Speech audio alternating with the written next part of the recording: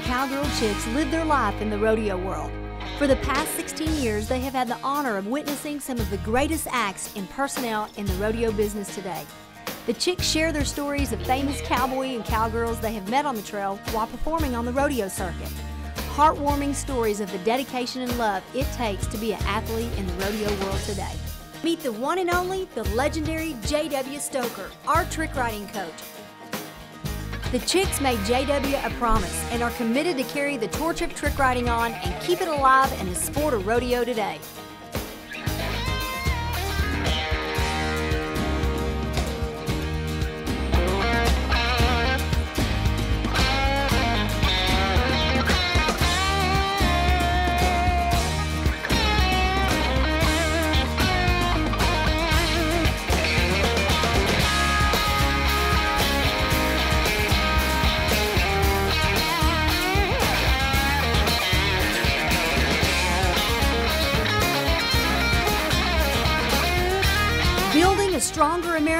With the youth of rural America. RFD TV takes you straight to a cowgirl's heart as they go behind the chutes and experience the grit, the guts, and the life of the all American cowgirl chicks.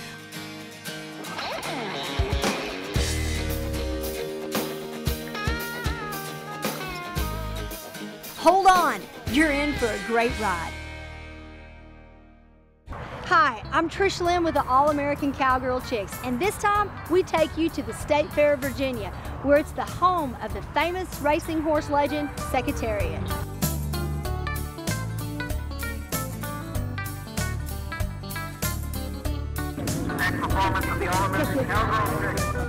When we pulled up, we loved seeing all the setup of the exhibits, the food, the fun, the crafts, but most of all, the youth that was involved. All the 4-H drill teams were there. We actually got to spend some personal time with these young ladies and young men on horseback and got to see all kinds of routines that they did. It was a great opportunity for us. We really enjoyed being with the youth as well as the schools let out. They had a lot of school buses there that let the kids enjoy the day of learning about the life of agriculture and the cowboy and cowgirl way. So you don't want to miss it. Hang tight, hold on for a great ride.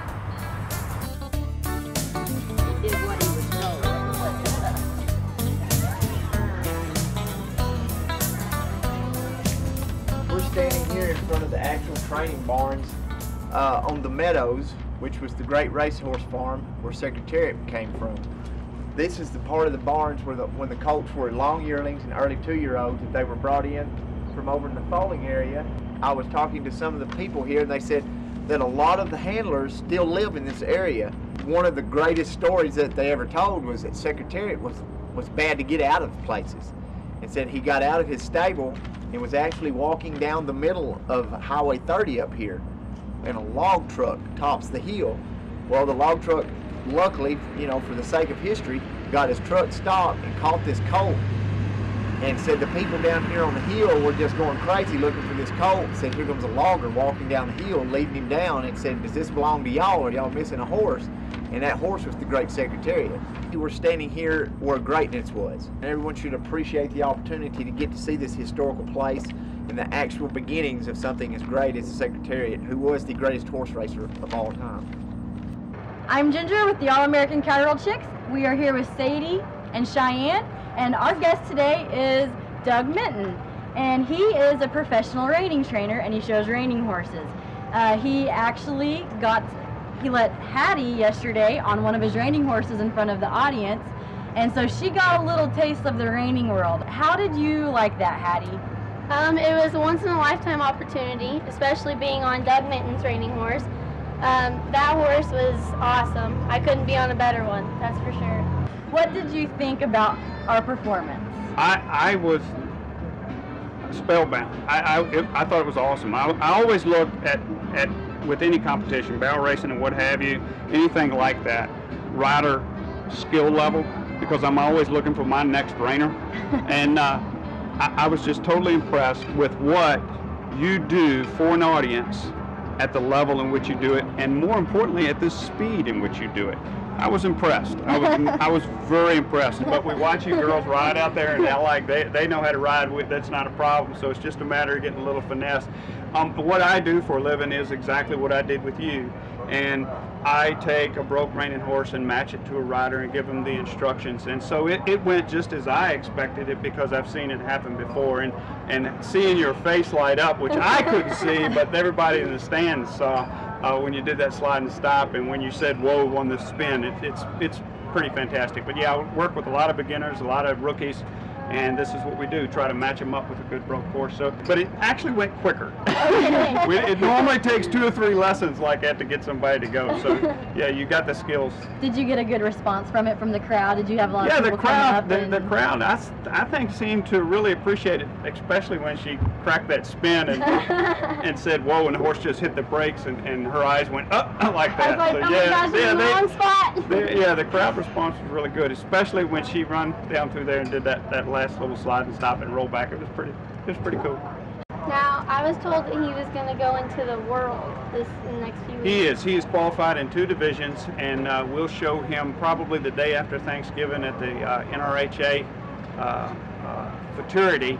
Uh, he'll show in the uh, North at uh, the Adequan Championships in two divisions uh, for the World Championships, and that's a that's an invitation only to, to get to. You have to qualify. He was reserve champion at the Northeastern Region Championships in New in New Jersey, and that got me the invitation to Oklahoma, showing We've him. had him for six months. Yeah, just this Wow. summer.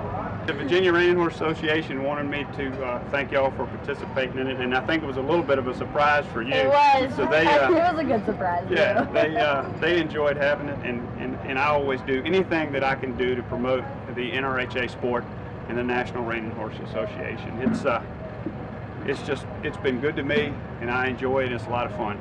well, thank you very much, Doug. We Thank you. It's been a pleasure. it. Thank nice you. having Thank you. Nice Yeah. meeting you. Nice meeting you as well. Yeah. Come great state of Texas, the land of the free and the home of the brave. And all American characters, you're gonna see it by yourself. Don't miss out on your holiday Christmas shopping. Check out the Cowgirl Chick store at www.cowgirlchicks.com. The Cowgirl Chicks have their very own country music, cool posters, Cowgirl Chick t shirts, and bling bling jewelry. Tack and rodeo equipment for every cowgirl in the equestrian business. Our very own horsehair extensions, made by Gypsy Tails. I'm with the Skyline Riders out of Virginia, and we're here at the Virginia State Fair where they just performed for the 4-H. And tell me a little bit about yourselves really fast. Um, we're the Skyline Riders drill team, and Y'all have been together since August?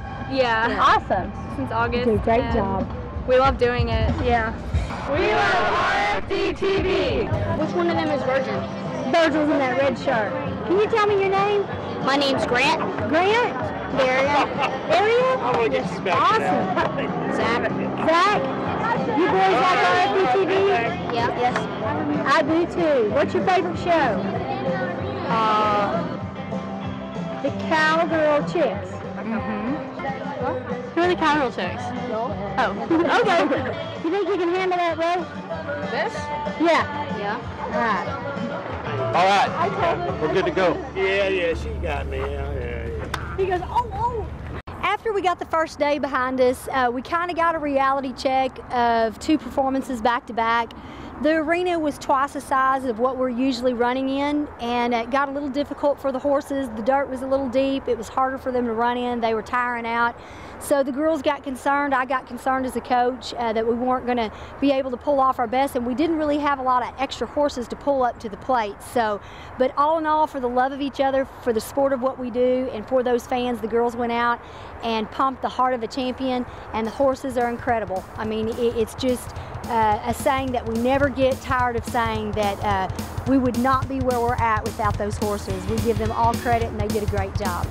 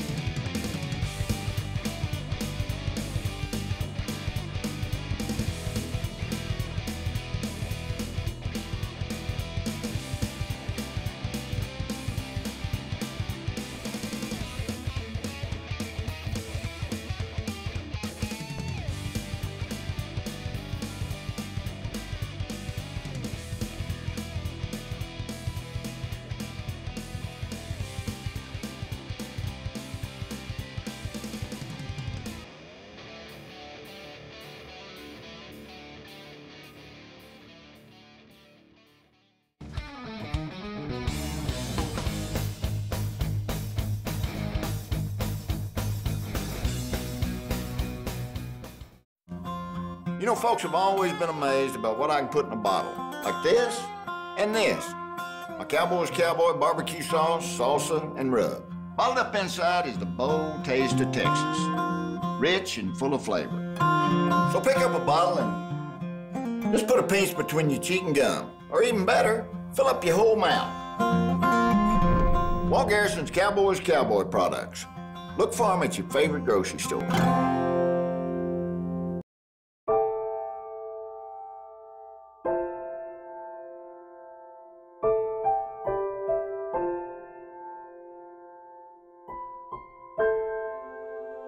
A special thing happened to us uh, in Virginia. We got approached by a group uh, from the Lonesome Dove Equestrian Therapeutic Riding Center here in Virginia.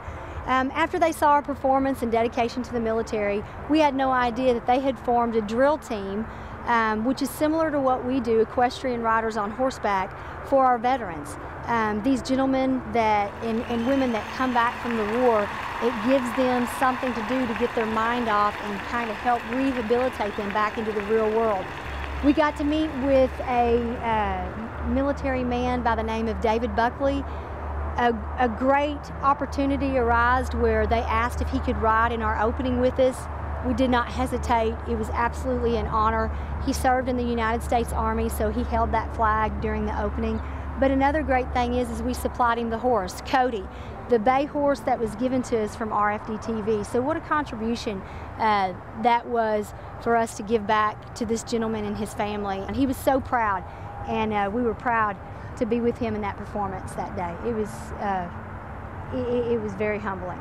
Not only that, we decided to donate uh, one of our United States flags that we had run previously uh, in the performances before we had met him and dedicated it and donated it to him and his family. So it was a great opportunity for us, but it just makes us uh, feel so privileged to live in the United States of America and be with a true American hero.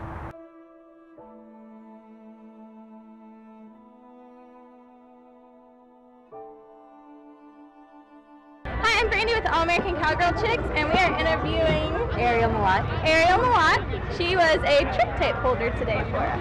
Yes. It was definitely an experience. Um, it was amazing. You guys definitely impressed me. I don't think I'd ever do that. Um, definitely, I can see you guys practice a lot, but that's very impressive. So. Was it any different being on the inside of the arena from outside? You think? Definitely. I mean, you got to see all the techniques and how they got up quicker. And, Yeah. yeah. Yeah. Did it feel faster? Oh yeah. Lots faster, lots faster. Your dad? Yes. Just got back from Afghanistan. So how? Uh, I'm very grateful that um, he's back. Um, God is definitely really great. Um, he was over there for 10 months. He was a contractor, and so we definitely heard of all the stories over there. And I've always had respect for military families and Army families, but now I can see from a totally different perspective how it is to have a family or loved member to have a, be over there. And so So do it change your outlook on the military and all that when he went over there? Yeah, I mean, I've always had a great respect for them, but now even more my heart goes out to families that have that or have lost someone over there. My name's Kenny Moore. it's been a pleasure working with you. But what do you usually do out here besides just Well, I'm actually in charge of working the equine area and dragging the rings and doing all that. But uh, outside of that, I own a landscaping business. So oh, I'm just kind of here as a volunteer, and we get a little paycheck at the end of the fair. But it's just all in fun. Awesome. good. Well, thank you for being here. We appreciate it. Appreciate having you all here. He keeps us clean in the arena.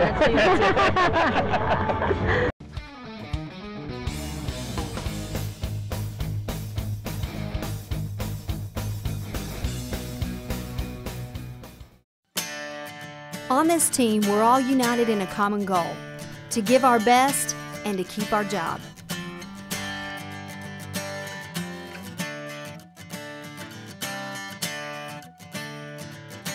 Are you ready to be an all American cowgirl chick?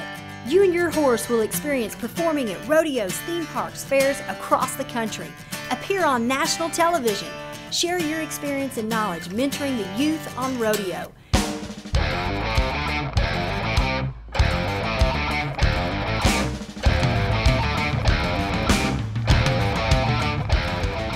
Receive extensive training in horsemanship, showmanship in the rodeo arena today.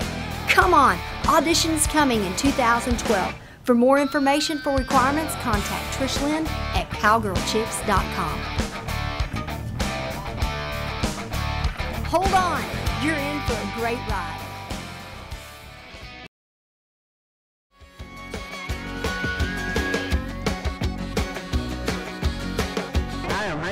The Cowgirl Chicks, the number one ladies on in America.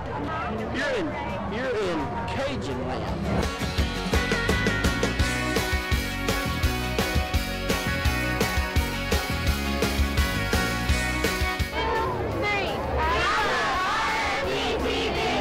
And we love RFD You bet. Say, I love the Cowgirl Chicks.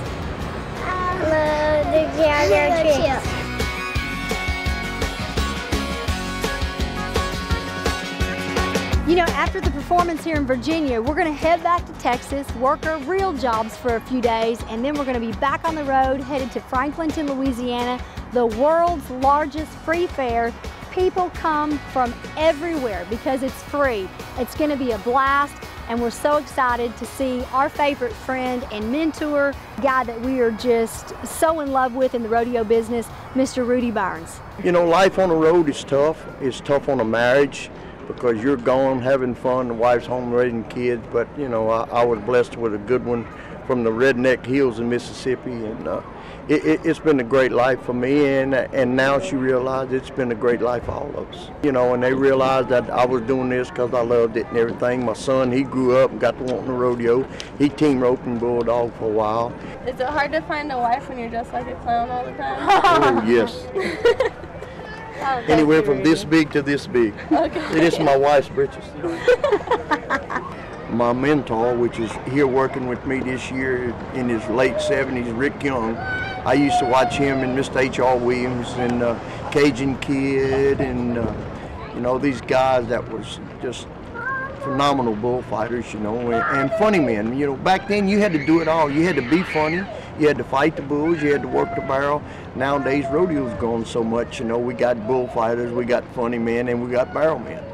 But back then, when I used to go to LSU rodeos, I man, I, I would watch the other events. But when that bull riding started and them clowns come out, I wouldn't even let them sell snowballs in my section. And, and to end up being a rodeo clown, as much as I admired them when I was a kid, has just been special. You know, it's been 40 years of this, and as long as it stays fun, I'm going to keep doing it. Whenever it's not fun anymore, I'm going to hang it up, stay home, and buy me a camp on the river and fish. When I wake up in the morning, I'm Rudy Burns. When I go to bed at night, I'm Rudy Burns. Right. Uh, you know, be yourself, have fun. If you're not having fun, find you something else to do. This is a hard life. You stay on the road, you miss your family, you know, and, and you, you live on fast food and everything. When you make it fun, people can see it. I've been wearing this one face now probably 35 years. And you see the little heart that I put on my chin? Well, what I did, I went to a rodeo one day and I went to school and a little boy, we were sitting down there talking to a bunch of school kids and the little kid looked at me and said, where's your heart? I said, my heart's right here. He said, no, the one that goes on your chin. I forgot to put that heart on my chin.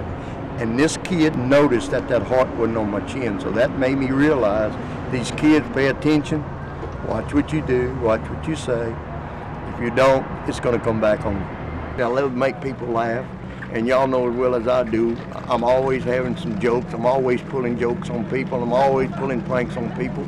And that's what makes it fun. The funniest thing that ever happened to me was at a rodeo in Memphis, Tennessee, and my clown dummy is dressed just like me. So I took the Bill Clinton head and stuck it on me, put the dummy in the closet and hid in the corner.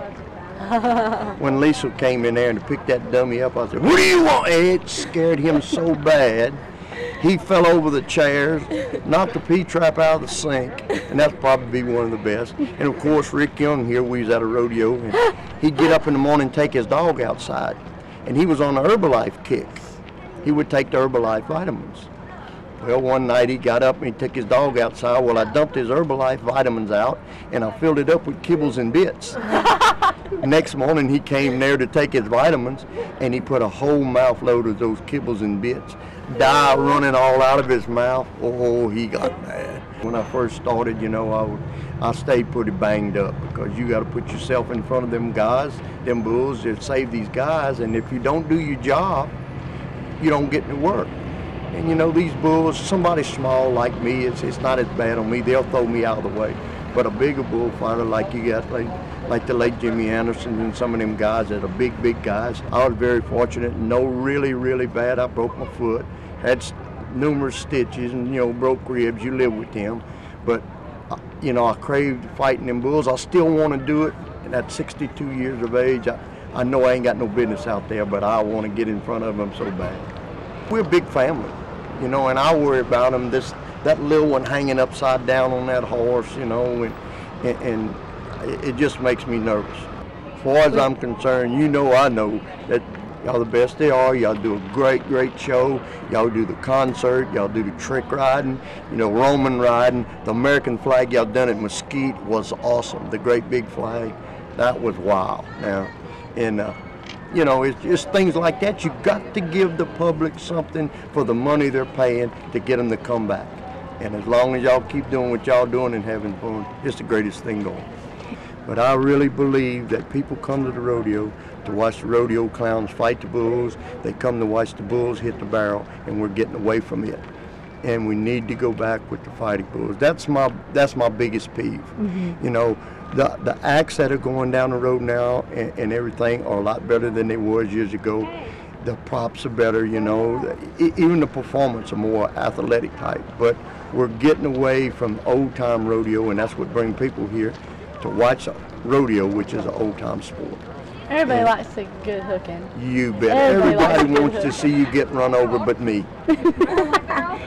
Being on the road myself, you know, for 16 years is not near as much as, you know, you've been on the road, but, you know, we've met a lot of good people, but I guess not just because you're standing here either. One of the main people we always look forward to go seeing is Rudy. Like, we You like that cooking, don't We, you? well, we like we like the cooking too, but it's just the fact that you know you. It's hard when we come up somewhere new. It's a different stock contractor we've never been before. You you've seen us come from the bottom and you've seen us to where we are now, and it's just a respect level that we have with you, and we appreciate that because you do you do realize how much practice we do put behind this, and it's not just a weekend warrior thing. We do try really hard, but it's the same with you. You know, you're always out here cleaning your stuff, making sure it's proper. Just because you're a clown don't mean you can throw things together.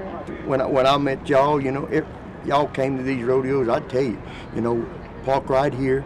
They're gonna feed you over here. You know, thing you need to do here. You need to watch this because you know, like I said, I'm gonna take care of you as long as I'm around. And if they don't like it, well, they just have to fire us off. No, we're just happy to be here, and we're happy to have friends like you up here. You know, I just, I wish I was everywhere we go. I love RFD TV, especially where I'm at right now. We love this lifestyle. We love being with our rodeo friends, but most of all, we are truly thankful for you fans. So thank y'all so much for hanging in there with us. Don't miss the next show on the All American Cowgirl Chicks with RFD TV.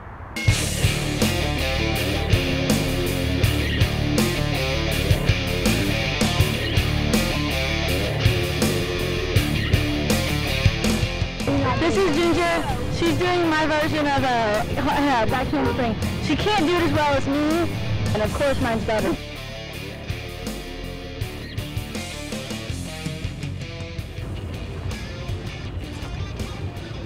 Come on, Chopper.